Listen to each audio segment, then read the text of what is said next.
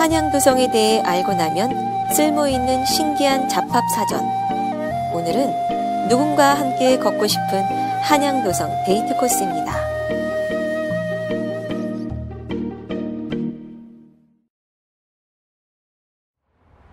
장충체육관이 있는 3호선 동대 입구역.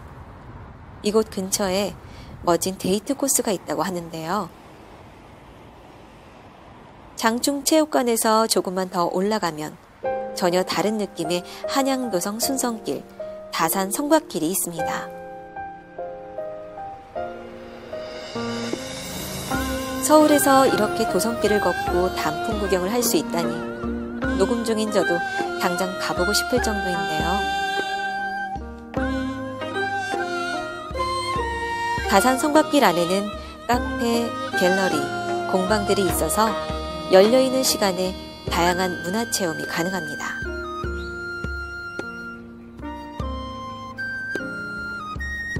또한 최근 이곳에는 주민들을 위한 문화시설이 새로 들어섰는데요. 이곳 벤치에서 남산의 경치를 같이 보는 시간, 생각만 해도 기분이 좋아집니다.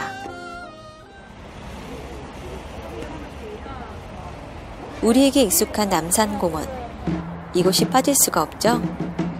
삼순이 계단으로 익숙한 이곳. 공원 매점을 지나면 넓은 잔디밭에 백범 광장이 나옵니다.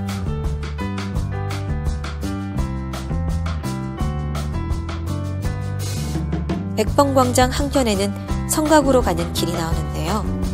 여기에 오르면 계절에 따라 봄에는 푸른 잔디를, 가을에는 노란 억새 풀밭을 볼 수 있습니다.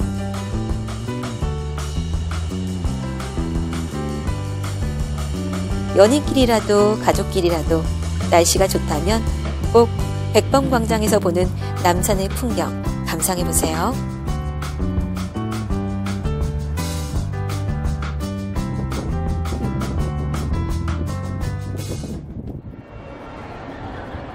지하철 동대문 역사문화 공원역 너무나 유명한 이곳은 DDP입니다. 저녁 시간인데도 많은 사람들이 모여 있습니다.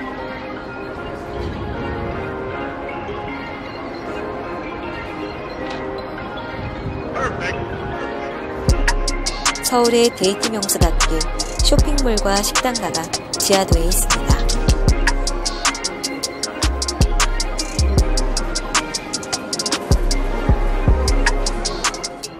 하지만 쇼핑만이 여기의 전부는 아니죠.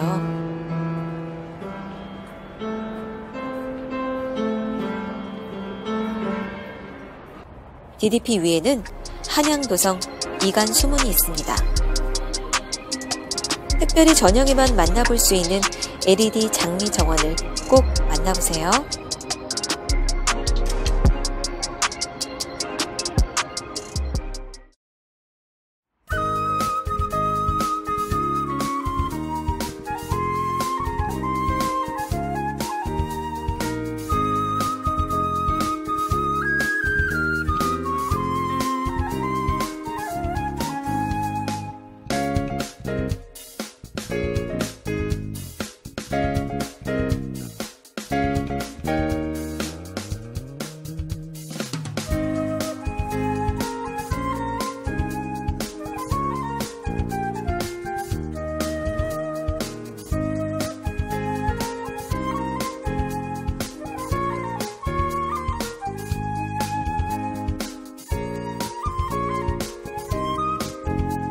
한양도성 데이트 코스 어떠셨나요?